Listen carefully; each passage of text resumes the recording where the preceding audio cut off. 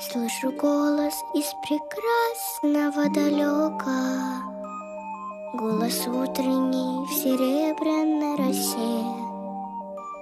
Слышу голос и манящая дорога Кружит голову, карусель Прекрасное далеко,